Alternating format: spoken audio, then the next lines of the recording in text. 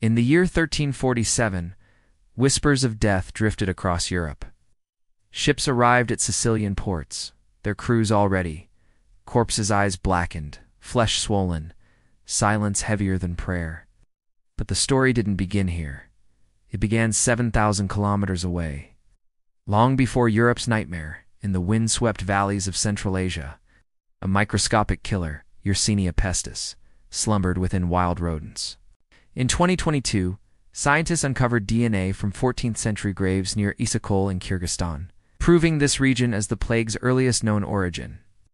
This was ground zero the moment the Black Death was born. From caravan to caravan, the plague rode the Silk Road, reaching merchants in Crimea. In 1347, Genoese ships carried it to Messina. Within months, it crossed kingdoms faster than any army, deadlier than any sword. By 1353, half of Europe lay silent. But from that silence came transformation.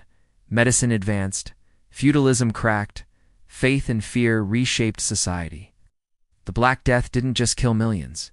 It rewrote civilization, its shadow still flickering in our DNA today.